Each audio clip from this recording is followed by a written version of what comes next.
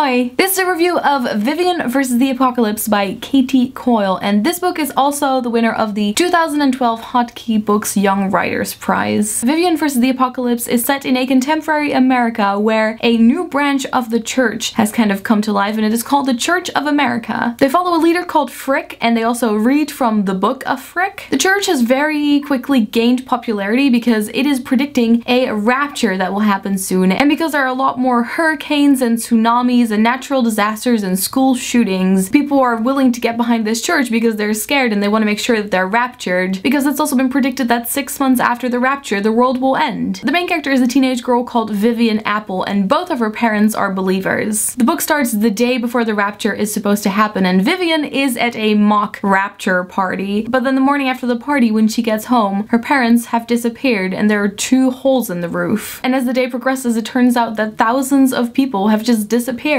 So Vivian is left on her own and these thousands of people disappearing is not enough for kind of the world to fall apart, but society is just slowly unwinding. Especially now that because a lot of people believe the rapture has happened, it means that the end of the world is close. So schools are closed and people start looting and a lot more people become believers. So Vivian, her best friend Harp, and Peter, a boy they meet along the way, decide to go on a road trip to figure out the truth behind the rapture. This book has some excellent side characters. I really enjoy Harp. She kicks ass, there's lots of hilarious swearing, and the friendship between Vivian and Harp is very believable and also very recognizable. I also really enjoyed Edie, who is a pregnant believer girl who they pick up from a highway stop and who just kind of travels along with them for a while. They're just a great group of characters. They're really easy to picture. They're very distinctive voices, and I think the dialogue is really good. When Vivian's parents became believers, they kind of became their own little entity, and because Vivian wasn't a believer. She became very detached from her parents. But as she goes on this trip and meets a lot of people, she kind of discovers some new stories about her parents when they were young and it kind of makes her realize that they are real people with stories and that they also made mistakes. What's very scary about this book is that the world seems to be so calm, but it also feels like everything's about to get really out of hand. There's so many devout and peaceful believers walking around with long skirts and button shirts, but the believers are getting more desperate. They might believe that there aren't enough kind of places in heaven. So their response to that is to just kind of go crazy and they start killing girls that are dressed too provocatively. And one of the most terrifying scenes is when Vivian and Peter have to dress up as believers and just walk around the city, which is totally fine if they just behave normally and keep quiet, but it could go wrong at any moment. What I really like about this book is that Vivian has to kind of learn how to stand up for herself. She was always kind of the passive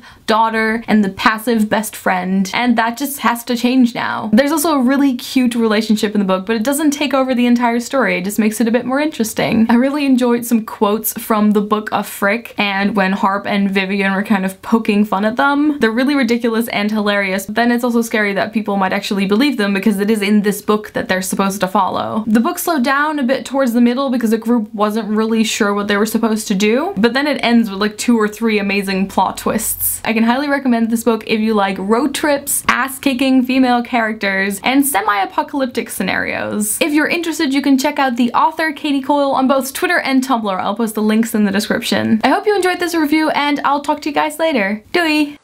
Cool.